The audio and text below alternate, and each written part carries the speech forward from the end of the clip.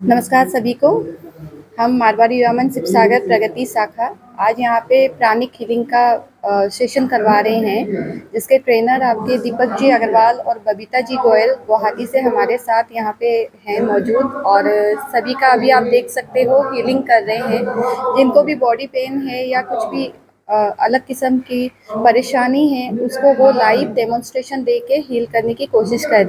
और अगर मैं बोलूँ, ये पूरा प्राणिक हीलिंग का कॉन्सेप्ट जो आज शिव सागर में आया है, वो हमारे इन दो कॉन्वेनर की वजह से है। पायल जी बोधिया जो हमारी पीटीए कन्वेनर हैं और कंचन जी अग्रवाल जो लास्ट ईयर ही प्रगति शाखा से जुड़ी है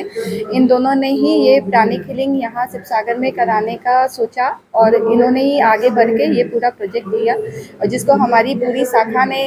समर्थन दिया और साथ ही पूरे शिवसागर वासियों का हमें साथ मिला बहुत बहुत धन्यवाद আজি আমাৰ এই ৰটাৰী ক্লাব শিৱসাগৰে আমাৰ নিমন্ত্ৰণ দিয়াত আহিছোঁ আমি গুৱাহাটীৰ পৰা আহিছোঁ আমি মানুহৰ শৰীৰৰ যে এটা উৰ্জা শৰীৰ থাকে প্ৰাণ থাকে সেই প্ৰাণটো কেনেকৈ বেলেঞ্চ কৰিবলৈ লাগে আৰু বেলেঞ্চ কৰি পেলাই কেনেকৈ নিজৰ জীৱনটো সকলো ধৰণৰ মানুহে নিজৰ বেলেঞ্চ আনিবলৈ পাৰে লাইফত ফিজিকেলি হওক ইম'চনেলি হওক বা আপোনাৰ বহুত ষ্ট্ৰেছ থাকে এনজাইটি থাকে আজিকালি মানুহৰ বিভিন্ন ধৰণৰ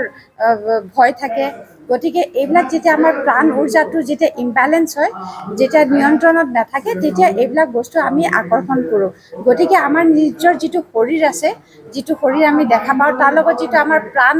এনাৰ্জি বডি এটা আছে আমাৰ উৰ্জা শৰীৰ এটা আছে সেই উৰ্জা শৰীৰটো আমি কেনেকৈ বেলেঞ্চ কৰিবলৈ লাগে আৰু বেলেঞ্চ কৰি আমাৰ নিজৰ লাইফটো কেনেকৈ নিয়ন্ত্ৰণ কৰিবলৈ পাৰোঁ আমি সেই বিষয়ে আজি ফ্ৰী কেম্প এটা কৰিছোঁ আৰু কাইলৈ আৰু পৰহি এটা